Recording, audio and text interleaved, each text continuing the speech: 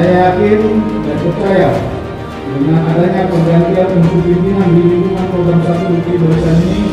kita bersama dapat menjaga komitmen untuk melanjutkan fondasi yang telah diletakkan oleh pejabat lama dalam bekerja